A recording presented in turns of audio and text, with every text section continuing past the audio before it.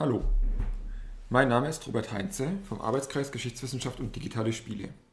In dieser Kurzreview für die Datenbank Games in der Erinnerungskultur der Stiftung Digitale Spielekultur stelle ich Ihnen das Spiel Warsaw vor und frage insbesondere nach seiner erinnerungskulturellen Bedeutung. Warsaw ist ein Spiel, das sich verschiedener Elemente aus den Genres der Rundenstrategie und Roguelikes bedient, um den Spielenden die Geschichte des Warschauer Aufstands nahezubringen. Das Spiel nimmt dabei konsequent die Perspektive von unten ein und stellt die kämpfenden Warschauerinnen und Warschauer in den Mittelpunkt der Erzählung. Spielmechanisch orientiert es sich eng an dem erfolgreichen Horrorstrategiespiel Darkest Dungeon. Die Spielerin leitet ein Team aus Aufständischen, wobei die einzelnen Figuren sterben können. Der Tod kann auch nicht durch verschiedene Speicherstände rückgängig gemacht werden. Dass sich im Verlauf des Spiels ein immer besser eingespieltes Team entwickelt, bedeutet der häufige Tod einzelner Figuren immer einen schweren Verlust. Dieser wird auch narrativ und emotional durch ausgearbeitete individuelle Persönlichkeiten und Geschichten betont. Ziel des Spieles ist es, mit dem Team und möglichst vielen WarschauerInnen den Aufstand zu überleben. Gewonnen werden kann er nicht. Selbst im Kontext des Genres der von Darkest Dungeon inspirierten Rundentaktikspiele ist der Schwierigkeitsgrad von Warsaw relativ hoch und eine narrative Erkundung des Spiels zeitaufwendig. Mittels zusätzlichem Material wie historischen Büchern und literarischen Erfahrungsberichten aus dem Warschauer Aufstand sowie Let's Plays und Interviews mit den Entwicklern kann das Spiel dennoch in den Unterricht integriert werden.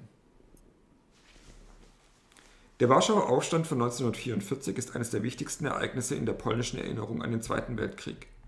Die polnische Armia Krajowa oder Heimatarmee, auch AK genannt, war die größte militärische Widerstandsorganisation in Europa und Teil eines ganzen Untergrundstaates in Polen, der von der exilierten Regierung in London ausgeleitet wurde. Am 1. August 1944, kurz vor Ankunft der Roten Armee in Warschau, traf die Regierung gemeinsam mit der AK-Führung die Entscheidung zum Aufstand, um die polnische Hauptstadt selbst zu befreien und einer sowjetischen Machtübernahme zuvorzukommen. Entgegen der Erwartung zog sich die Wehrmacht jedoch zunächst nicht weiter zurück. 63 Tage kämpften die Aufständischen, bevor sie inmitten einer fast vollkommen zerstörten Stadt kapitulieren mussten. Die Tragik dieses aussichtslosen Kampfes gegen einen militärisch haushoch überlegenen Besatzer ist einer der zentralen Erinnerungsorte Polens nach 1945. Trotz der jahrelangen Unterdrückung der Erinnerung durch die sozialistische Regierung ist der Aufstand in der Populärkultur, in Filmen, Literatur, Kunst und Comics sehr präsent. Die Erinnerung ist aber auch umstritten. Konservative betonen den antitotalitären Charakter des Aufstandes, der sich auch gegen die Sowjetunion gerichtet habe, und das Märtyrertum der Aufständischen, die sich in eine Geschichte der vergeblichen, aber heroischen Kämpfe für die polnische Nation einordnen. Liberale hinterfragen die Entscheidung der Leitung der AK, einen aussichtslosen Aufstand zu beginnen. Das Spiel Warsaw behandelt die 63 Tage vom 1. August bis 2. Oktober 1944 aus der Perspektive der Aufständischen. Mit Absicht wollen sich die Entwickler nicht in die politischen Debatten um die kollektive Erinnerung an den Aufstand einmischen. Die enge Fokussierung auf die lokale Ebene und auf das Zeitfenster von Beginn zum Ende des Aufstandes entkontextualisiert ihn aber und tendiert damit zum Märtyrernarrativ.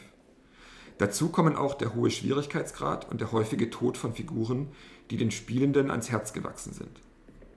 Alles, auch die Grafik, betont die Vergeblichkeit und Düsternis der Handlung.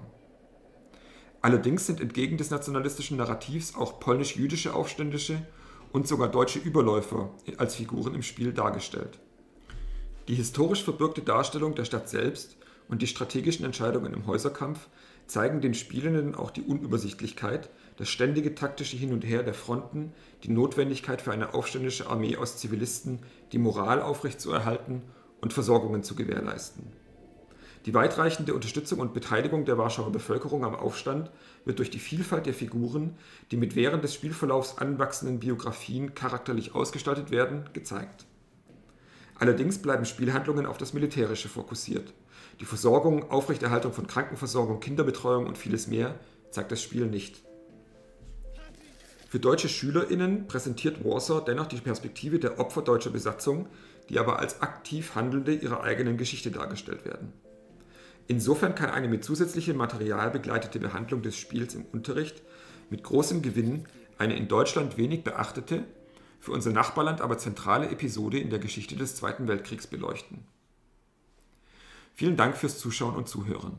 Wenden Sie sich mit Fragen gerne an die Stiftung Digitale Spielekultur oder den Arbeitskreis Geschichtswissenschaft und digitale Spiele.